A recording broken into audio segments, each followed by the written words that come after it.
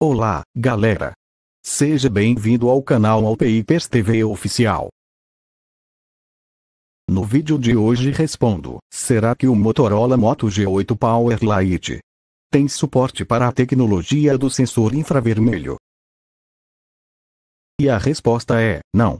O Moto G8 Power Lite não tem suporte para a tecnologia do sensor infravermelho, assim não dá para controlar os aparelhos, infelizmente. Antes de acabar esse vídeo, assista aos outros vídeos do canal. Temos várias playlists de smartphone para tirar as suas dúvidas. Descubra o que você precisa saber, de forma rápida e sem enrolação.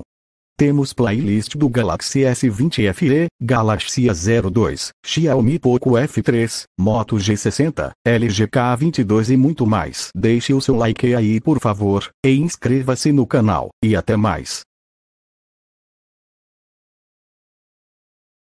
Se você chegou até aqui, vê os outros vídeos aí, ou comenta qualquer coisa.